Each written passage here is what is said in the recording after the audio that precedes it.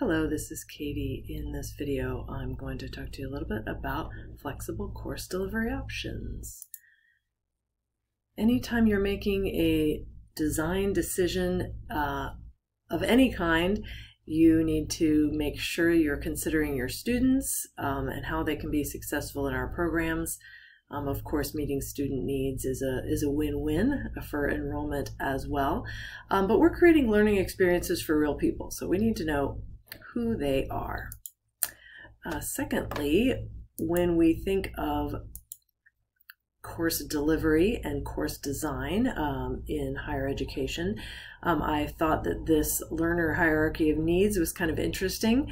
Um, we obviously need functional, reliable, and usable courses, um, but convenience um, makes it a little bit easier for students and um, helps them to succeed. And then we're working towards pleasurable and meaningful. So um, we've got these high level uh, needs at the top, and that's what we are looking to design and deliver for our students. Course design is based on critical course components aligning to the student learning outcomes. They form the base of all of the decisions that we make and uh, what do we need students to be able to do and how can we create learning experiences that help them meet the outcomes. So you may have seen something similar to this list of uh, events of instruction. So to me, this is a little bit more about delivery than design, um, things that we might have typically done in the past in a face-to-face environment now we have different techniques and, and tools that we can choose from and determine which of the uh, which of these things is, is um, best using either a, face-to-face or a, an announcement in blackboard or an activity or or your choice. So really thinking about these different things related to your students in your course will help you determine which of the things might be done um, in a time when you're synch synchronously meeting with the students uh, all at the same time, um, or things that you could post into Blackboard, for example. So um, according to Quality Matters, design happens before the course begins. So now we're talking here about what happens when students enter the course. Um, and so we have uh, an issue, of course, is the students always don't always know what they're signing up for. So that um, has been improved. So coming um, this next semester, um, we have our um, schedulers have been trained in some new delivery modes to code as your filling out your schedule for next semester. And they give given us an acronym which makes it easy to remember. Face-to-face in-person courses, that's a, a, more traditional course. Online no set time is O, so that's would is what we might call asynchronous, where there are no meetings. Um, and then the C and the U are the more flexible ones. So C being in-person and online, so a combination of in-person meetings and online meetings, uh, versus U, which would be um, in person or online, meaning the student would be able to choose how they want to attend.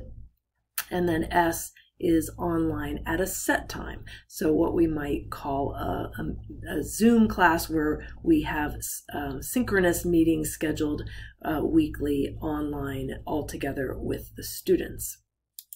So unpacking these just a little bit more, I've included some descriptions here um, of these, and I pulled these three out just because I think they're the most common, and I've just talked about those. Um, and then I'm going to switch over to the two uh, new, which are a little more flexible, and thinking about how um, these might fit with your particular students in your particular course and then also of course fitting in with the um, overall uh, plan for your program.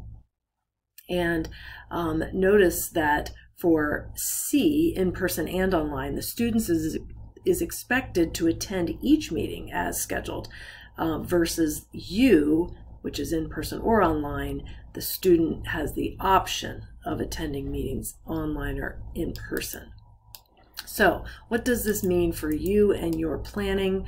Well, you have to do more explicit planning when you're doing any kind of uh, delivery other than a very traditional one.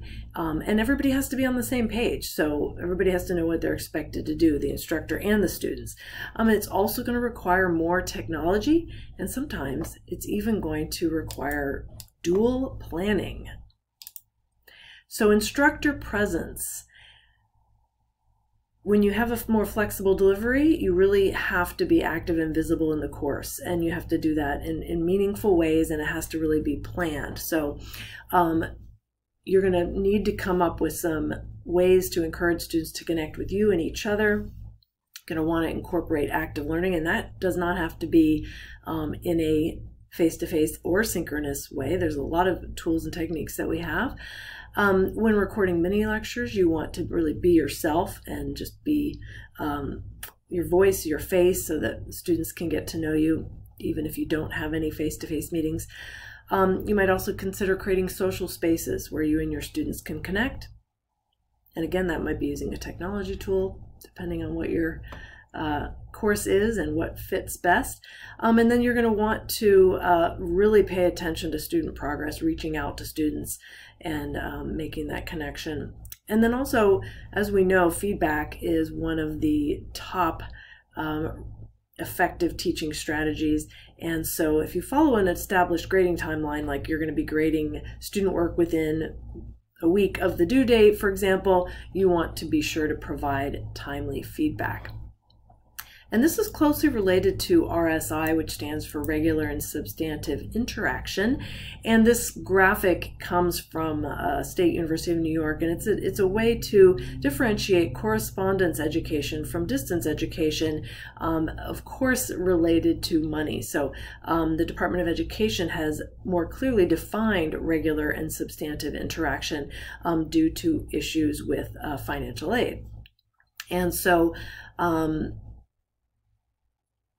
basically these are uh, uh, this is the spectrum and we were looking towards um, the right side here for really um, a lot of planned instructor presence and interaction within the course.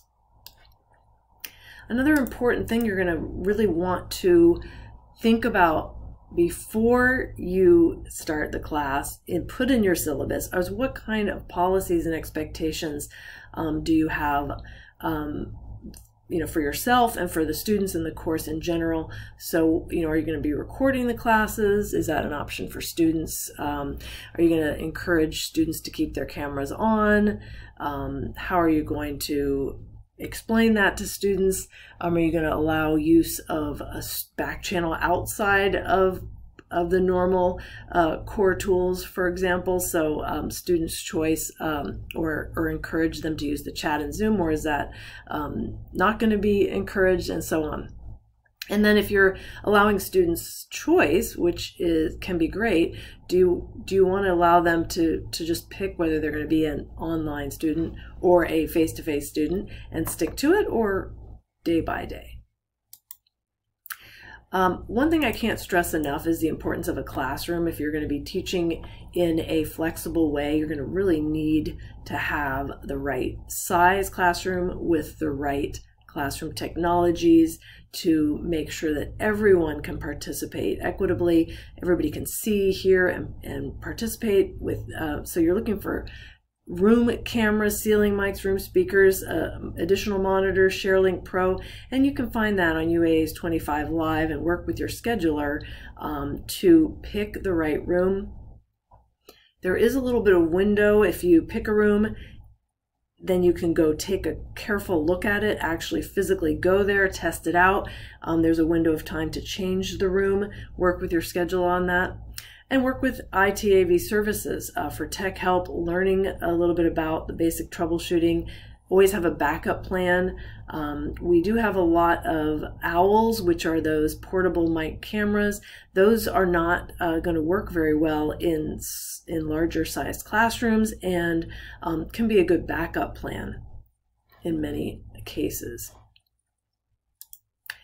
Um, then the other thing to think about, of course, is your instructional strategies and, and the technologies you're going to use uh, for instruction. And um, you can consider flipping the class, um, creating mini lectures and pre-work so that when you're when you have synchronous time scheduled, you can be using that for uh, more applied activities. Um, if you're teaching synchronously online, I recommend a pretty fast-paced agenda, keeping people engaged online. Uh, research shows that um, definitely after 10 minutes of not doing anything, um, people start to disengage and, and, perhaps even in less. So um, keeping those students active doing things during those synchronous online sessions is important. And keep in mind, UA has a lot of core tools that um, some are better for synchronous, like Zoom, others are great uh, for asynchronous work. So you can actually have uh, discussions that are not just text based using things like Microsoft Flip, formerly Flipgrid, um, and VoiceThread discussions. Lots of choices, and instructional designers can help you with those. Um, and then, of course, we still have our Blackboard LMS. And so I highly recommend that you use that for the base of everything. Um, all the content should be there even if you have students in the room, rather than passing out papers or collecting papers, um, make everything uh, digital and electronic. Um, make materials available early for students, encouraging them to be prepared for class. Formatting everything for accessibility, uh, making sure that when you choose videos or create videos, they have accurate captions. Um, and as I said, using Blackboard as the home base where students know they can find everything. Even when you are meeting synchronously online, it can be a time saver to put any documents or activities in Blackboard so students always know where to find them, even when it's for a face-to-face -face or a Zoom session. So a couple of tips that are probably pretty obvious. Um, being flexible and patient when teaching in a new and flexible way, um, knowing that it is not going to be perfect and there's going to be some changes or or um, hiccups that are going to need to be resolved along the way. And ask your students throughout to tell you what's going well for them and what's not. Um, embrace technology. So it can be daunting uh, to adopt a new technology. Um, so start small um, and practice and get student feedback on that as well. Make sure that you are fully engaging all students, no matter how they are attending your courses, and also seek support. Find colleagues and staff that can help you be successful teaching in, flexible design scenarios. A couple of other considerations, as I said, um, before and after and during, always asking your students um, how things are going and what they need. Um, design for equity and inclusion, making sure that you are offering uh, things that will help our students succeed and build a community of learners. Also, again, fitting into your overall department strategic plan and the offerings is going to be important, making sure that students are able to complete their, their degrees in a timely manner, etc. And then, as I mentioned before, your administrative professionals have been trained on the new scheduling codes. So work with them. Um, if you are feeling a little unclear about some of these delivery modes, your students may too, since this is new. So I encourage you to use the scheduling note, work with your administrative professional to add, add a note as well to more clearly describe exactly the delivery method you are going to do. So again, at the point of registration, students know what they're getting into. Hopefully these tips have helped you and um, you can reach out for um, help with additional questions or follow up as you're planning for the next semester's courses.